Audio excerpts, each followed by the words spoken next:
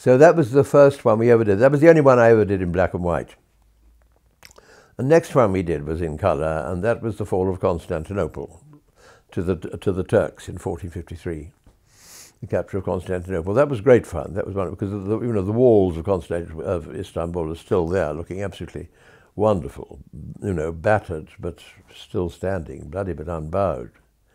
And uh, it's a, it's a it's a wonderful story, the heroic story of the one of the great sieges of history. And uh, that one went very very well. And then I think after that, uh, we sort of rather uh, got into the swing of things, and the BBC wanted more. And we did, uh, what else did we do?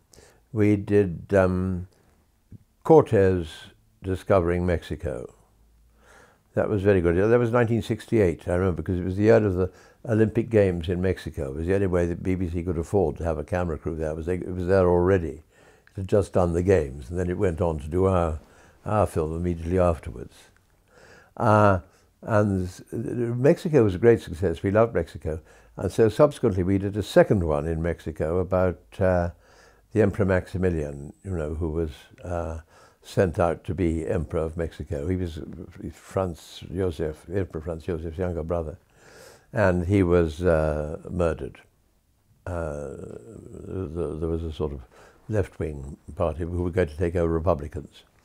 And they just captured him and murdered him. But it's again, it's a terrifying story, and his because his wife uh, went back to, to, Europe to get help, and uh, then went mad, and uh, they couldn't get her out of the Vatican, and she lived in in Rome in a, a hotel room with hens tied up to the chairs and things because she was afraid of being poisoned, and she went and got her own water from the Trevi fountain every day, that sort of thing. And so that made a very good story. And then we did Napoleon's Hundred Days from Elba to Waterloo. Uh, and that, that was really a, a, gift because Napoleon, you know, when, when he went up to, to Paris from Elba, when he escaped from Elba, went up to Paris, he knew that the Royalist army was going to be coming down the main road, the Rhone Valley. And so he took the mountain road to the east through Grenoble, Sisteron, places like that, Digne. And uh, every, every building in which he stayed the night, all, all the way up, is still there with a plaque.